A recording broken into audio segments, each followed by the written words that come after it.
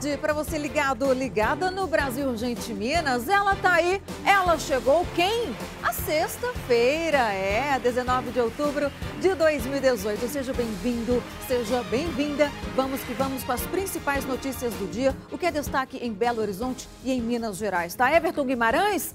Por onde anda Everton Guimarães? Ah, vai curtir um fim de semana prolongado lá em São Paulo. E você aqui em BH, ó, chuva, tá chovendo agora, diretor? Como é que tá a situação aí?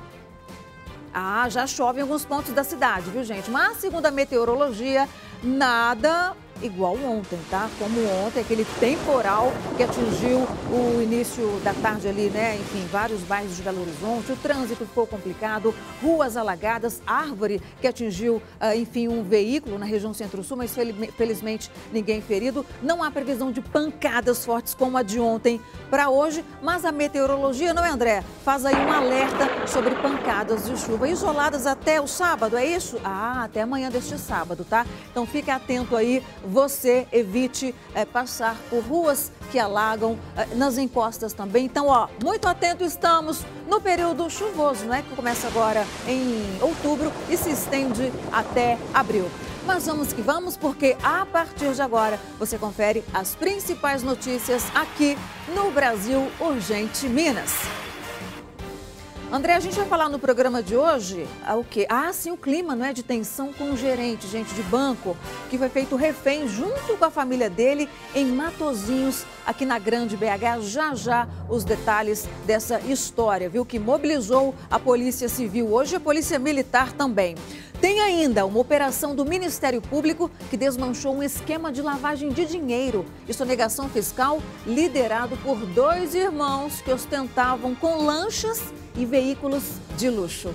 E tudo sobre o primeiro debate entre os candidatos ao governo do estado neste segundo turno. Você que dormiu mais cedo ontem, né? Tinha compromisso, ah, acompanhou algum jogo na TV, enfim, Perdeu o debate aqui na tela da Band? Não tem problema não. A gente vai te contar tudo que rolou ontem nesse primeiro embate válido então para o segundo turno, tá bom? Não saia daí, você acompanha já já. É, dia 28 de outubro já batendo a porta aí, né? Eleições 2018. E você aí, tem alguma denúncia? Tem? Então faça o seguinte, envie para o nosso Band Zap, tá? Que tá aqui na tela, ó. Mande já. Algum problema na sua rua, no seu bairro, na sua cidade? Ah, problema com o vizinho? Não, uhum. aí até que não, né? Aí você tem que tentar resolver ali no diálogo, tá? Na harmonia. Mas se você tá com algum buraco aí na sua rua, enfim, algum problema em que a prefeitura não atende a solicitação da população, mande pra gente para o nosso Bandzap. Combinado? Então vamos que vamos. Um homem foi preso e mais de 30 quilos de drogas foram apreendidos dentro de uma mala em um ônibus de viagem. Na manhã de hoje, isso, tá, gente? No terminal rodoviário, no centro de Belo Horizonte, aqui em Minas Gerais. De acordo com a Polícia Rodoviária Federal, o ônibus foi parado na rodovia Fernão Dias, em Itatiaio Sul, região metropolitana de Belo Horizonte. E cães farejadores sinalizaram a presença da droga em uma das malas. Como os policiais não conseguiram localizar o dono da mala, ah, então a Polícia Rodoviária Federal autorizou que o ônibus prosseguisse até a rodoviária da capital. O passageiro, de 28 anos, apresentou o ticket para a retirada da mala e então, claro, se direcionou ali ao ponto de táxi do terminal, não foi? Quando então foi preso pelos policiais. Tentou ali driblar, mas não teve jeito não. Claro, a Polícia Rodoviária Federal, ó, bem mais esperta que ele. O ônibus em que ele estava saiu de São Paulo com destino capital mineira. O suspeito e a droga foram levados para uma delegacia da Polícia Civil. E a Polícia Militar de Uberaba, lá no Triângulo Mineiro, prendeu três pessoas envolvidas em um roubo de uma carreta lá no Triângulo, né? De acordo com os militares, durante um patrulhamento, os policiais localizaram um um carro, não foi isso, André? Um carro com dois homens, ah, sim, dois suspeitos, né, no carro, que ao passarem ali pela viatura, jogaram uma arma na via. Após a abordagem, enfim, dos suspeitos ali, os militares encontraram então um homem que era a vítima do assalto. Ele contou que estava levando o caminhão carregado de aparelhos eletrônicos quando foi rendido e teve o veículo roubado. O caminhão foi encontrado próximo a uma mata, onde estava o terceiro assaltante. Ele estava no caminhão enquanto os outros dois esvaziavam a carga. A carreta estava carregada com 568 televisores. 258 foram recuperados. Também foram apreendidos um carro, uma carreta e um revólver. Se é que a gente pode trazer uma notícia boa dentro desse contexto aí, é que o motorista, felizmente, foi resgatado ali, passa bem, apesar do susto. Seis pessoas são presas em uma operação do Ministério Público de Minas Gerais para combater um esquema de sonegação fiscal e lavagem de dinheiro, comandado por uma família, gente. Família com negócios na cidade de Capitólio, na região uh, sul, não é? De Minas Gerais. Ah, pois é. Sabe o Igor Calhã? Ele traz os detalhes para a gente agora. Os mandados de busca e apreensão, prisão preventiva e prisão temporária foram cumpridos em Belo Horizonte, Contagem, Passos e Capitólio. Seis pessoas foram presas. Os dois principais alvos das investigações são os irmãos José Elias da Silva Júnior e Luciano José da Silva, que teriam um esquema de sonegação fiscal e lavagem de dinheiro, um rombo para os cofres públicos de pelo menos 10 milhões de reais. Eles constituíam empresas é, em nome de interpostas pessoas, o que nós chamamos de laranja. Essas empresas funcionavam de forma regular por um certo período, apresentavam as declarações devidas ao Estado e o valor devido de tributo não era recolhido, então eles ficavam omissos. A Fazenda apurava essa irregularidade, né, essa falta de pagamento e fazia autuação. Então nós a gente vinha fazendo isso. Em um determinado momento, eles simplesmente desapareciam com essa empresa, abriam novas empresas com outras pessoas, outros laranjas e faziam o mesmo procedimento. Luciano José da Silva foi preso preventivamente. Ele foi encontrado em sua residência no bairro Belvedere. José Elias foi preso em Escarpas e levado a Belo Horizonte. Os irmãos eram investigados desde 2015. Um grupo econômico que atuava basicamente em duas frentes, uma com essas atividades comerciais aparentemente irregulares, mas que é, praticavam é, esses crimes de sonegação fiscal. E numa outra ponta, uma atividade mais turística, como já foi divulgado né, na, na região ali de Escapas do Lago, com a criação de algumas empresas que foram é, constituídas com o dinheiro adquirido ilicitamente da atividade criminosa de sonegação fiscal. E, e, essas empresas acabavam blindando esse patrimônio porque ocultavam valores e ocultavam bens ilicitamente adquiridos e acabavam blindando esse patrimônio, evitando que o Estado conseguisse recuperar o dinheiro da sonegação porque afinal de contas o nome do devedor, é, no, ou no nome da, do, dos contribuintes devedores, não havia nenhum tipo de patrimônio. Segundo as investigações, os irmãos ostentavam em rede social, com postagens em passeios de lancha e carros de luxo. Além dos negócios de turismo, né, da, da do restaurante, da, do spa, da pousada, é, da cervejaria, eles tinham também veículos de luxo, né, em nome dessa, desse tanto em nome de Laranjas como em nome dessa pessoa jurídica, uma empresa de participação. É, e outros negócios né, que a gente ainda precisa confirmar, é, que vai demandar uma, um aprofundamento das investigações, como, por exemplo, como foi citado, a questão de, de, de lanchas, enfim, de, de outros tipos de, de bens. A operação foi realizada em conjunto entre Ministério Público de Minas Gerais, Polícia Civil e a Secretaria de Estado da Fazenda. Além dos crimes de lavagem de dinheiro e sonegação fiscal, os irmãos podem responder por organização criminosa. Assim não dá, né, gente? Família Poxa vida, ousada essa família, mas muito bem, parabéns ao trabalho da Polícia Civil nessa investigação, né? E ostentando lá nas redes sociais. Ô, gente, hoje é sexta-feira? É. É recesso escolar? É, muitos alunos ainda descansando nessa semana. Mas a notícia não para não, tá? Aqui no Brasil, Urgente Minas. Gente, se vocês pudessem ver a nossa redação, sabe o que aconteceu agora? Todo mundo ganhou trufa da Cacau Show. Ah, Leandro Nunes do marketing, fazendo a nossa sexta-feira mais doce, mais hum. feliz. Pessoal em cima também, não é, André? Ah, pois é. Vamos lá então, a notícia não para não, porque agora Gente, o assunto é sério. Esse assunto, esse caso, mobilizou a Polícia Civil desde a noite de ontem, tá? A família de um gerente de uma agência bancária de Matozinhos, aqui pertinho, na região metropolitana de Belo Horizonte, e o próprio funcionário foram feitos reféns durante a manhã de hoje por assaltantes que invadiram o banco. Mas esse, essa vítima, ela chegou a ser abordada ontem mesmo, tá? Foram horas de horror. Equipes especiais da polícia negociaram a saída das vítimas que foram libertadas à tarde aqui em Belo Horizonte. O Igor Calhão acompanhou essa história de pertinho e traz os detalhes para a gente. De acordo com informações da Polícia Militar, o gerente desta agência bancária foi abordado por pelo menos quatro criminosos quando saía do local no fim da tarde de ontem. Os bandidos foram com ele até sua residência e então sequestraram sua família. Esposa e dois filhos foram levados para um cativeiro em Belo Horizonte. Os bandidos ficaram a noite toda com o gerente em sua residência para realizar o assalto hoje pela manhã. Os bandidos deixaram o gerente no banco e disseram que voltariam às 11 horas da manhã para buscar o dinheiro. Esta funcionária da agência, que não quis ser identificada, falou sobre a tensão no local. O gerente chegou mais ou menos às 9 horas mais ou menos, só que eu percebi né, assim, uma diferença no modo de, dele me cumprimentar. Ele cumprimenta a gente bem assim, sorridente, mas eu percebi que ele estava tenso. Ele pediu para todo mundo se reunir. Mas na hora da reunião ele chamou eu. As reuniões eu não participo. Nessa reunião ele me chamou. Eu sentei. Aí foi onde ele passou para a gente passou pra gente que tava com a família em cativeiro, que tinha sido sequestrado.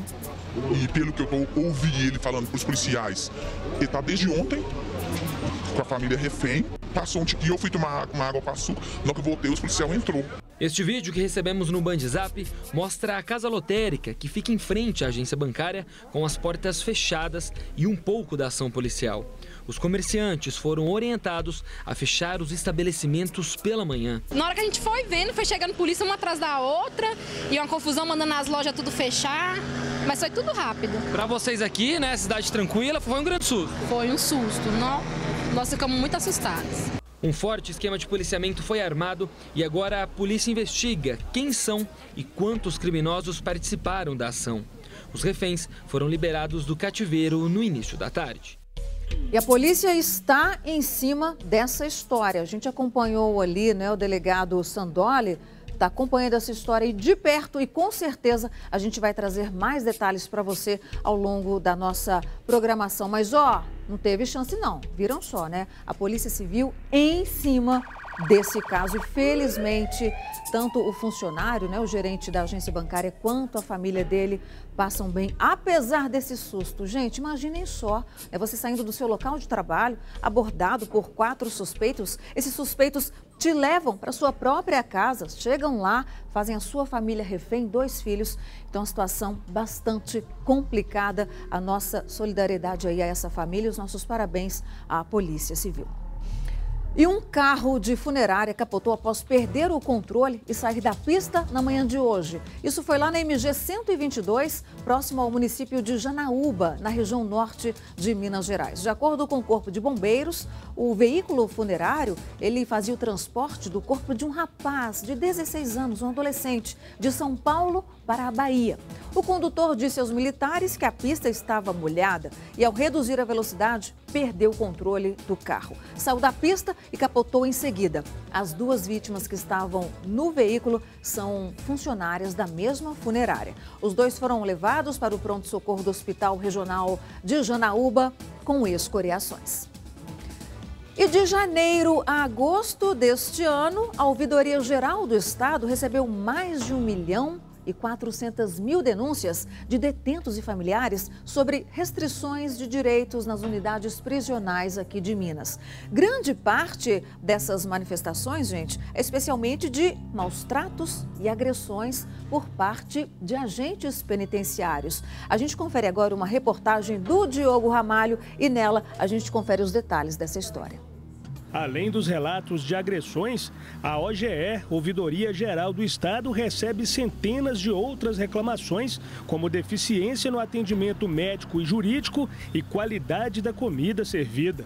Fábio é presidente da Comissão de Assuntos Carcerários da OAB e também recebe as queixas. Denúncias de maus tratos relacionados a, a agentes contra detentos. Então, essas denúncias são encaminhadas geralmente para o e-mail da Ordem dos Advogados do Brasil, o e-mail da Comissão de Assuntos Carcerários, bem como no meu telefone pessoal, que ele acaba sendo público já no dia a dia. Já as denúncias que chegam através do telefone 162 ou pelo site da Ouvidoria Geral do Estado são encaminhadas à Corregedoria do Sistema Penitenciário e é aberta uma investigação. A resposta tem que ser dada à família ou detento no prazo máximo de 30 dias. A gente tenta ir diretamente à unidade prisional ou entra em contato com o gestor dessa unidade, se for uma pessoa mais próxima da OAB, para que essas denúncias sejam apuradas. Então, muitas vezes são instaurados procedimentos internos por parte dos diretores que submetem o detento ao oitivo em cartório, bem como ao exame de corpo e delito. Flagramos familiares de detentos saindo de um presídio da capital após o horário de visita. Maus tratos foram confirmados por eles. Eu vou visitar o pai do meu filho e meu cunhado. E meu cunhado foi agredido na minha frente e eu acabei não podendo ver ele. Os meninos andou relatando que esse final de semana mesmo eles foram ameaçados. E três foram afastados aí já, por sobre, sobre ameaça. Por meio de nota, a Secretaria de Estado de Administração Prisional afirmou que todas as denúncias provenientes da Ouvidoria Geral do Estado são apuradas por ela nos termos da lei. Não, não acontece. Primeiro que uma pequena parte do que realmente ocorre no centro prisional é externado por parte de familiares. Há um medo muito grande de retaliação por parte dessas pessoas aos seus parentes ou familiares ou amigos que estão dentro do centro prisional. Mas há uma descredibilidade muito grande por parte desses familiares, além do receio, na, no órgão correcional, porque a apuração ela não é célere. De acordo com o Sindasp, Sindicato dos Agentes de Segurança, o Estado tem deixado muito a desejar quanto a investimentos na área. Para cada cinco presos é necessário um agente penitenciário. Mas atualmente a conta não fecha e em algumas unidades trabalha um agente para cada 60 detentos. Falta agente, falta vaga para os presos, falta equipamentos de contenção de motim e rebelião, equipamentos de proteção individual, falta muitas vezes remédio para dar aos presos que são doentes, falta material de higiene pessoal dos presos, falta manutenção nas poucas viaturas que tem. Sobre o relato de agressões que mostramos no início da reportagem, o Sindasp afirma que tudo é apurado.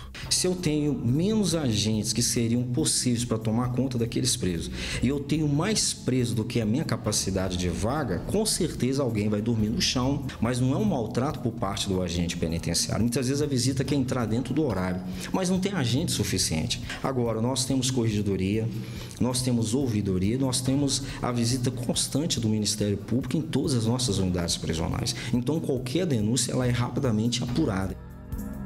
Assunto sistema prisional, não é? Ele é bastante complexo, delicado e não é um problema só aqui em Minas Gerais, não, viu, gente? É em todo o país. Nós procuramos a Secretaria de Estado de Administração Prisional, que nos informou que está aberto o período de inscrições para a seleção de 4 mil agentes de segurança penitenciária de Minas Gerais em nível médio. E foi encontrado na manhã de hoje o corpo de um dos irmãos desaparecidos no Rio das Velhas, entre Pirapora e Várzea da Palma, na região norte de Minas Gerais. Segundo o Corpo de Bombeiros, os meninos, um de 10 e outro de 13 anos, eles brincavam próximo ao rio quando se afastaram dos pais e foram então levados pela correnteza. As buscas para encontrar o outro menino continuam.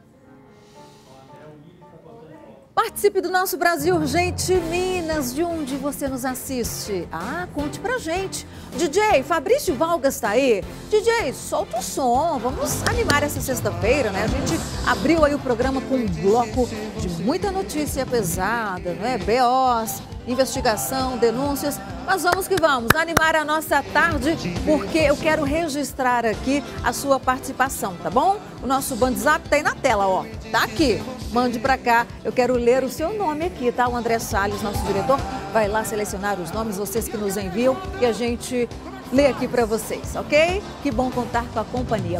O André, o que a gente faz agora? Festa? Não, intervalo. Ah, nós vamos para um brevíssimo intervalo, mas você não saia daí. Daqui a pouco nós vamos mostrar os principais detalhes do primeiro debate dos candidatos ao governo do estado. É, você que dormiu mais cedo ontem, perdeu esse primeiro embate do segundo turno? Já já você confere os detalhes aqui na tela da Band. Eleições 2018 é já já.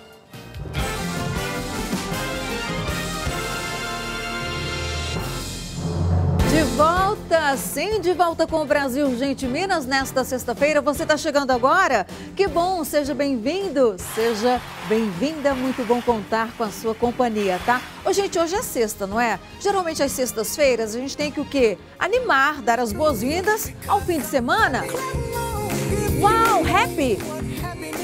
O clipe é sensacional, né? Ah, a redação dançando, olha lá. Aí, Matheus Arvelos. Mas o assunto agora é outro, tá? A gente está aqui feliz, curtindo a sexta-feira. Já ganhamos trufas da Cacau Show. Leandro Nunes já nos presenteou nesta tarde, Leandro Nunes, do marketing. É, nossa sexta-feira doce por aqui. Mas agora a gente fala de um assunto, viu? Que, ó, ah, gente, está gerando muita discussão nos grupos de família no WhatsApp, não é? No barzinho ali, na roda de amigos. Política, não é? Quem diria nunca se discutiu tanto política quanto nos últimos tempos, não é? Há uma vantagem nisso? Ah, sim, discutir o assunto, não é? Expor aí as ideias, concordar, discordar, mas o que não pode ter é briga, gente. Você tem que respeitar a opinião do outro, tá bom? A gente vai voltar a falar sobre esse assunto, tá?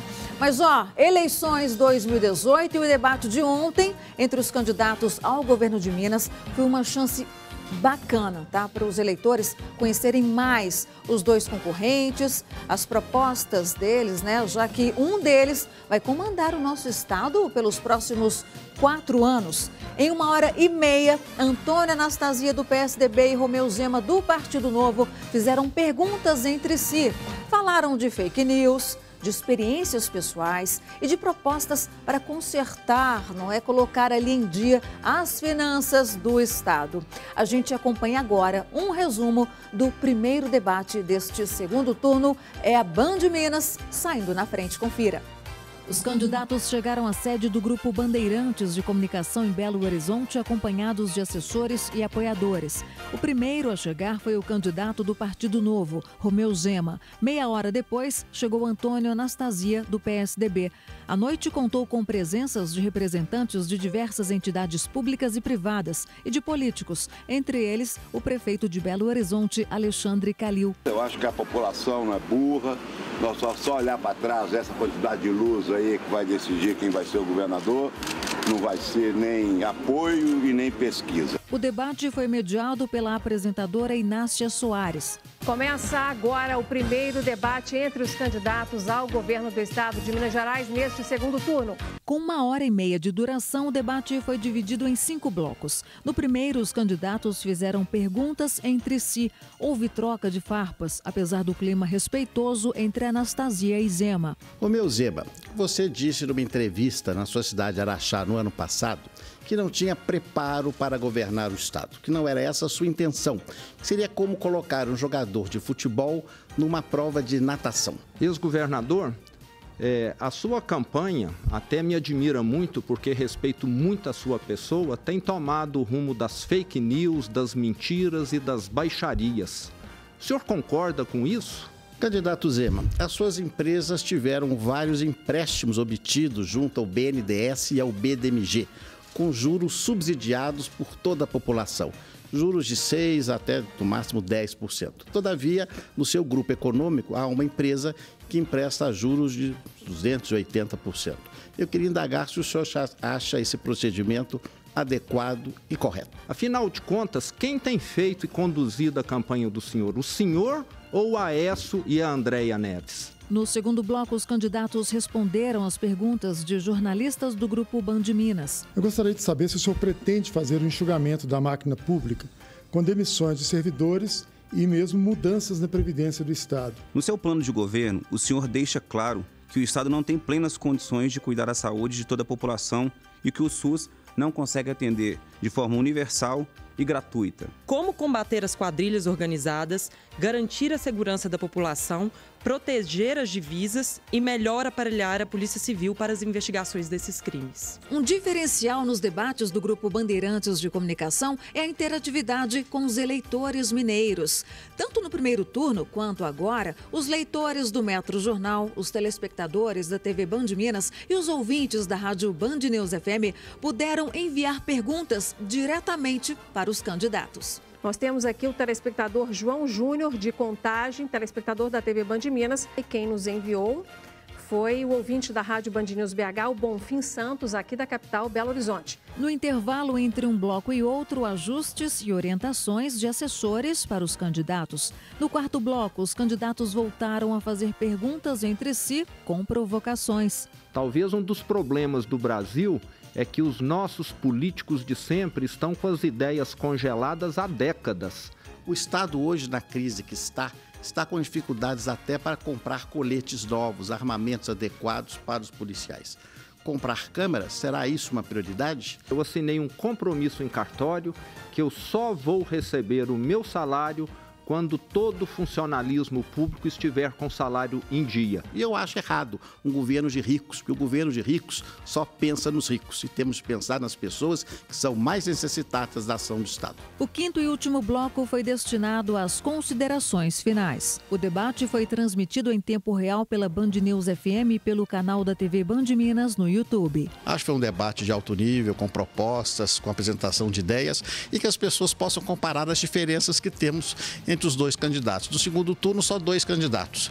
Então as pessoas comparam e acho que o debate serviu bem a esse propósito. Vi ele como muito positivo, foi a oportunidade do senador Anastasia colocar as propostas dele, eu colocar as minhas propostas e o povo de Minas ver as diferenças. Olha, eu considero que esse primeiro debate no segundo turno é como se estivéssemos abrindo a campanha eleitoral nessa fase, nessa reta final, porque os candidatos se apresentam de forma menos artificial, mas foi importante para mostrar um pouco mais, ser mais propositivo, dizer o que, que pensam fazer para Minas Gerais recuperar a questão da econômica e também a importância política no cenário nacional. Pois é, já estamos aí no segundo turno, não é? Já conhecemos as propostas, os dois candidatos. Mas se você ainda está em dúvida e perdeu esse debate de ontem, você tem a oportunidade de assistir novamente quantas vezes quiser e quando puder, tá? lá no YouTube, tá bom? Lá no YouTube, no nosso TV Band Minas, tá bom? youtube.com barra TV Band Minas, ok, André? Tá lá todos os blocos para você conferir, então, ouvir as propostas dos dois candidatos. E ó, nada de discussão não, tá? A Piscula estava aqui me contando que a vizinha dele acabou brigando com o marido, gente, porque ela apoia um candidato e ele outro. Aí não, né? Aí não. Futebol, política, você pode opinar, né? Pode tentar convencer o outro, mas você tem que respeitar a opinião do outro. Se a opinião do outro não bate com a sua, então, ó, tem que haver o respeito e nada de perder a razão, não. Discutir, brigar, né? Romper relações. Ô, gente, WhatsApp, aqueles grupos de família, não é? Não, não, não, nada disso, tá? Não, não vamos perder energia com essa história de discutir por causa de política e futebol, enfim. Pode discutir, mas dessa forma que eu falei. De uma forma serena, inteligente, não é? Mas sem briga, tá bom? Nada disso. O assunto ainda é política, porque os cartórios eleitorais aqui de Belo Horizonte começaram a preparar as urnas eletrônicas que serão utilizadas no segundo turno das eleições. Os equipamentos recebem as cargas com os dados dos eleitores e são lacrados em seguida, tá? Eu sei que muita gente está criticando, muita fake news aí rolando, falando sobre essa questão das urnas eletrônicas. Mas o Marcelo Silveira esclarece mais uma vez essa história para gente. As urnas eletrônicas começaram a receber as informações dos candidatos presentes no segundo turno.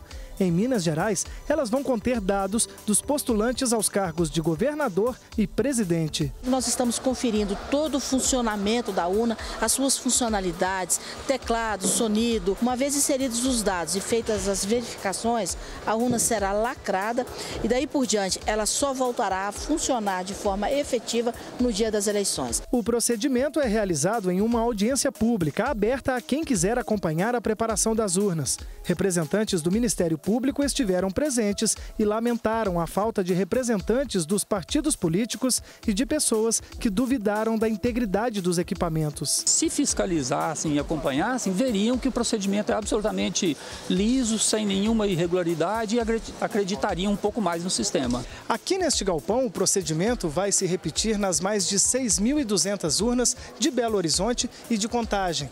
Mas esse ato também deve ocorrer nas 304 zonas eleitorais espalhadas pelo Estado, garantindo a segurança e a integridade das mais de 48 mil urnas usadas em Minas. Toda a preparação foi acompanhada de perto por policiais militares, civis e representantes da Ordem dos Advogados do Brasil. Após serem lacradas, as urnas serão encaminhadas para sedes de batalhões e companhias da polícia, aumentando a segurança dos equipamentos. A partir de quinta-feira, as urnas começam a ser encaminhadas aos locais de armazenamento, onde ficam sob guarda da Polícia Militar até entrega efetiva aos mesários. Como parte dos trabalhos que asseguram a integridade das urnas, o TRE Minas ainda vai realizar, neste sábado, a auditoria de três equipamentos alvos de reclamações e denúncias no primeiro turno. Nós estamos dando uma resposta de forma inédita, mostrando que nós estamos agindo de forma transparente e tentando é, mostrar para a sociedade que não houve problema é, de forma efetiva com a urna é, eleitoral. Vamos lá, você tem o poder em suas mãos, tá? Vamos exercer o nosso poder de cidadania. Combinado? Dia 28 tá aí, ó, batendo a porta. Então, procure se informar, avalie ali as propostas e exerça então a sua cidadania. E ó, deixa eu mandar um abraço especial para um casal, é Darcilene. Darcilene e Guilherme. Ah, vão se casar no início do ano? Que bacana! Não perdem um Brasil Gente Minas, né? Bom demais. Felicidades para vocês, tá? E façam como a Darcilene e o Guilherme lá de Betim. Participe do nosso Brasil Gente Minas. De qual cidade você está nos acompanhando? Mande um bandzap no número que está aqui, ó, na sua tela, tá? Porque eu quero registrar as participações aqui. Assim como o Everton Guimarães faz, é, mandar um abraço especial para todos vocês. Combinado? Tô aqui esperando, hein? O André, o que, que a gente faz agora, André? Ah, a gente vai para um brevíssimo intervalo. Mas a gente volta já já? Combinado? Então vamos lá, até já.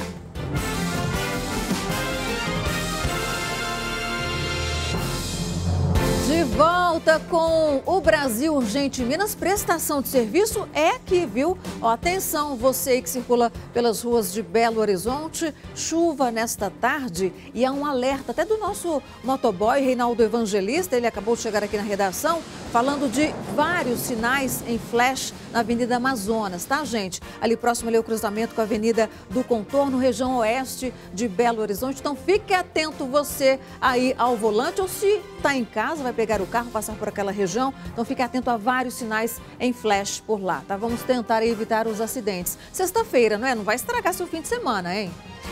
E um dos hotéis mais tradicionais aqui de Belo Horizonte, o Otton Palace. Ele vai fechar as portas no mês que vem, né? Você vem acompanhando inclusive aí essa notícia nos últimos dias. Pois é, o prédio, ele foi fundado na década de 70 e guarda na história a visita de hóspedes ilustres, como Eric Clapton, é, Tom Jobim e ainda Ayrton Senna. O empreendimento foi o primeiro de luxo aqui da capital e permaneceu como única hospedaria de alto padrão da cidade por quase 20 anos. Você em casa já se hospedou no Alton Palace? Não? Tem essa vontade?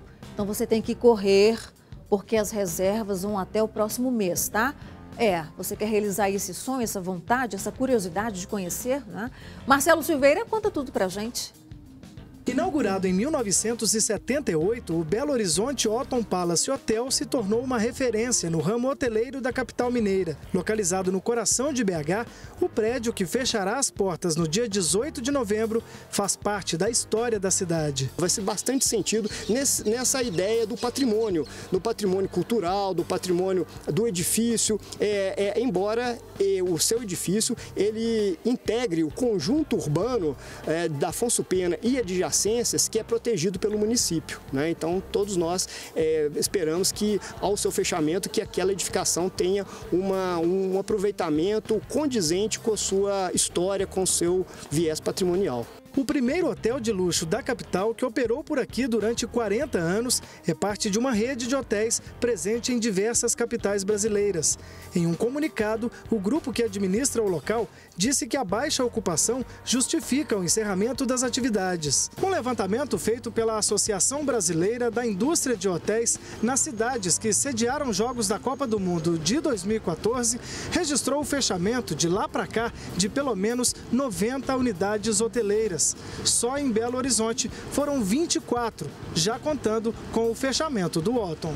Para o vice-presidente da entidade em Minas Gerais, vários fatores têm contribuído para o encerramento das atividades de algumas empresas no ramo hoteleiro da capital. Em Belo Horizonte dobrou a quantidade de leitos que tinha e, e com a entrada da crise fez com que a oferta-demanda ela é, a curva se invertesse, fez com que a, toda essa demanda é, tivesse que ser mais pulverizada. Isso fez com que a diária média dos hotéis caísse, a ocupação caísse, né? Então, como um todo, toda a hotelaria sentiu muito. Se antes da Copa do Mundo a taxa de ocupação era de 70% a 80%, agora ela caiu para 50%. Os empresários do setor acreditam nos eventos de negócios para tentar alavancar novamente a rede hoteleira na cidade. A área que mais precisa de, de trabalho hoje é a atração de feiras de eventos é, corporativos, né? essas feiras que movimentam a maior parte de volume financeiro, de hospedagem, o ticket médio do próprio hóspede de eventos ele é maior. Acreditamos, né, o setor como um todo, que investir no setor de eventos é o caminho para a gente sair dessa crise.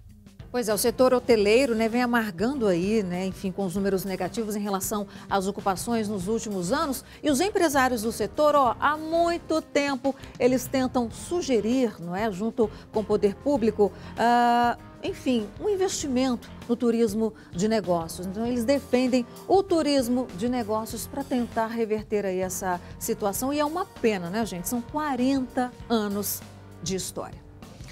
E por falar em história, os Correios, pois é, 40 agências fechadas em todo o país. Oito delas estão aqui em Minas Gerais. Segundo a estatal, as lojas não estão dando lucro. Agora, a gente acompanha o VT com esses detalhes para você. Já já eu volto com mais. O fechamento de agências dos Correios pelo país foi iniciado esta semana. Cerca de 41 unidades vão deixar de existir, o que assustou os trabalhadores da estatal. O Correio ele tem um papel social incrível né? Uma empresa que o povo não pode deixar jamais ser privatizada. Ainda segundo o presidente do sindicato, o fechamento das agências já foi tema de audiência pública na Assembleia Legislativa de Minas Gerais o que retardou um pouco a atitude, mas não impediu o fim dos trabalhos em algumas unidades dos Correios. Em Minas Gerais, oito agências deverão ser fechadas. Três delas estão aqui na capital mineira, incluindo esta localizada na região centro-sul de Belo Horizonte, que teve as suas atividades encerradas esta semana.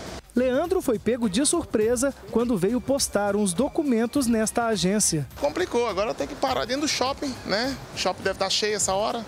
A única agência da região. Ou então ir para Nova Lima, no Vale do Sereno. Isso acaba prejudicando a população? Atrapalhou, já estou atrasado com o serviço aí agora correria. Por meio de nota, a administração da estatal informou que este fechamento faz parte de uma remodelagem da rede de atendimento e que haverá uma substituição gradativa destas unidades por outros modelos de agência. Enquanto isso não ocorre, quem precisa dos serviços terá que se deslocar um pouco mais. Eu fiquei surpresa, né? Porque agora eu vou ter que ir no outro correio. Desci no ponto de cá para ir nesse daqui, agora eu vou ter que andar mais. Quando tem mais próximo da residência é melhor. Então você vai ter que deslocar o endereço de uma agência que já existe não sei, por redução de custo, isso é ruim para o consumidor. Agora é preciso se adaptar, né? Você verificar aí qual agência dos Correios mais próxima da sua casa para você então se servir aí desse serviço que inclusive você tem que pagar, né? A gente muda de assunto agora e fala da tradicional comida mineira. Hum, já conhecida por apreciadores de todo o mundo e agora pode ser reconhecida também pela Unesco. A Prefeitura de Belo Horizonte lançou oficialmente a candidatura ao título de cidade criativa da gastronomia, concedido pela Organização Mundial. Quem conta tudo pra gente? Laura França. Que Belo Horizonte é a capital dos bares, todo mundo sabe. Mas com tantas delícias da culinária mineira, é difícil ficar só na cervejinha. E os restaurantes da cidade também são famosos por suas comidas típicas e ambientes acolhedores com o objetivo de estreitar a relação entre paladar e turismo, valorizando produtos e produções locais, a Prefeitura, por meio da Belotur, lançou a candidatura de BH ao título de Cidade Criativa da Gastronomia pela Unesco. A candidatura, ela significa um processo né, de reconhecimento, acima de tudo, da nossa gastronomia, da riqueza gastronômica que a gente tem em frente ao Brasil, América do Sul, e corroborar com um projeto de cidade, com um projeto do que a gente está desenvolvendo e a gastronomia para nós tem um peso muito grande. A inscrição será em julho de 2019 e o resultado divulgado em outubro do mesmo ano. Até lá, o município vai preparar o dossiê que passará por uma avaliação na Unesco. Apresentar tudo que temos, a, a infinidade de festivais gastronômicos que a gente já tem, como que funciona essa gastronomia nossa aqui, a força que temos desde do café, da cachaça, do queijo, do vinho. A proposta deve incluir um plano de ação que contenha projetos, iniciativas e políticas que serão executadas nos quatro quatro anos seguintes para o setor. Um dos requisitos é a preocupação com a sustentabilidade. Que é a questão do resíduo, né? A gente não vai é, deixar por menos e desenvolver saídas para todo esse lixo orgânico gerado. Segundo a Organização Mundial do Turismo, a gastronomia está entre as principais motivações que levam turistas a escolher um destino. Por isso, a qualidade da oferta gastronômica faz toda a diferença. Acostumado com os pratos de São Paulo, gostei do, do sabor, do tempero, ele é bem diferente, ele é bem forte. Toda vez que eu venho aqui a negócios, eu sempre tento arrumar um tempo para comer, porque é muito bom, né? Então, torresmo, pão de queijo, a linguiça mineira, é, eu gosto bastante. Título de cidade criativa na gastronomia, não é? E se conquistar esse título, é fazer tudo para mantê-lo, viu, gente? Não vai fazer igual a história lá da Lagoa da Pampulha, não, que o título está ali é, correndo risco, mas ó, já está sendo feito um trabalho lá de limpeza na Lagoa da Pampulha. Mas esse é outro assunto, né, que você também vem acompanhando aqui com a gente. A gente volta a falar nele com certeza. E um caminhão tomba e deixa a BR-381 totalmente interditada em Brumadinho, região metropolitana de Belo Horizonte. De acordo com a autopista Fernão Dias, concessionária que administra o trecho, um caminhão carregado de frutas tombou e um homem ficou ferido. A pista está interditada nos dois sentidos e o congestionamento no local chega a 6 quilômetros no sentido Belo Horizonte. Então, atenção você aí, Fernão Dias, Brumadinho, aqui na Grande BH, congestionamento em decorrência, então, de um acidente ocorrido agora há pouco. Está no sentido Belo Horizonte. Fique atento. E uma árvore caiu e atingiu dois veículos durante a chuva nesta sexta-feira na Avenida Augusto de Lima, região centro-sul de Belo Horizonte. Segundo o Corpo de Bombeiros, a queda da árvore atingiu esses dois veículos, mas apesar do susto, ninguém ficou ferido não. De acordo com a CEMIG, a árvore atingiu a fiação e há falta de energia, tá, gente, naquela região. Uma equipe já está indo para o local para restabelecer a energia. A gente até trouxe aqui agora há pouco o nosso motoboy, né, o Reinaldo, ele alertando sobre uh, sinais em flash, inclusive ali na Avenida Amazonas, próximo a Contorno. E vamos ver quem está acompanhando agora o Brasil Urgente Minas desta sexta-feira. Aí, ó. Bruno Mars. Sexta-feira, né? Esse clipe também é sensacional, hein? Lucas! Olá, Lucas, de Joatuba! Que bom, viu, contar com a sua companhia. Sargento Clóvis, de Pouso Alegre. Ana Paula Fernandes, de Jaboticatubas. Maria Miranda, de Barbacena. Olá, Francisco Amorim, de Sete Lagoas. Creuza, de Divinópolis.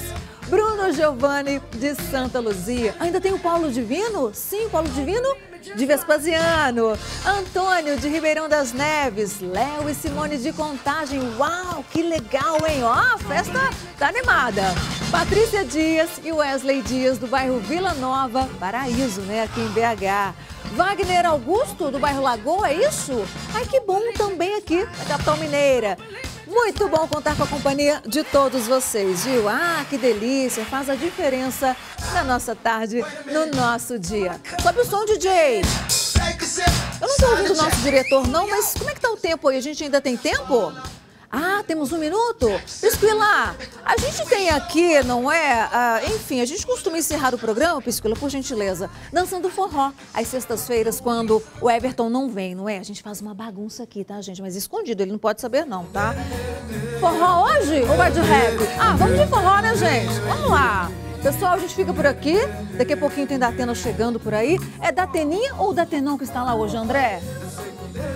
Ai, não tô ouvindo o André. Mas tudo bem. A gente termina dançando um forró aqui. Beijo. Felicidades pra vocês. Tá excelente fim de semana. Quem tá lá? Quem tá lá? Fala. Ah, Luiz, da tendo da Tenão. Uhul!